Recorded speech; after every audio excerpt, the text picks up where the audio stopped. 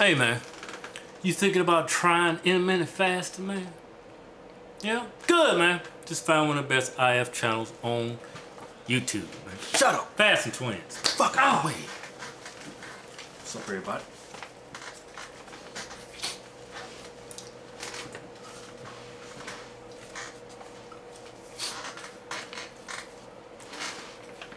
Got this email. I'm back hurting. I think I snapped some shit up. Got this email.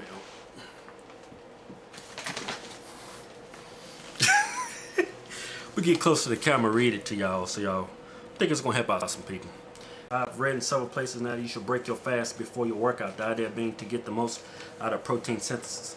Well, a lot of people don't like fasting. They say it's gonna hurt protein synthesis. Yeah. I think protein synthesis for a natural bodybuilder, get your calories in. Yeah. Okay. If you uh, fast, it's going to help your body burn the energy you've already stored. It gives your body uh, the ability to burn stored fat. Okay. When you spread your meals throughout the day, your body's always in a fed state. And for some people like us, it's hard for us to lose weight that way.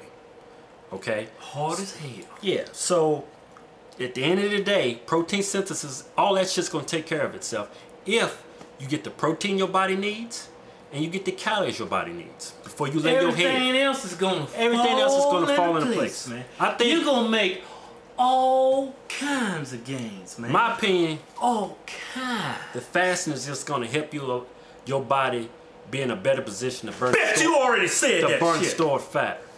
But it's just advice. Do whatever the fuck you wanna do. Hutch Twins, bitches.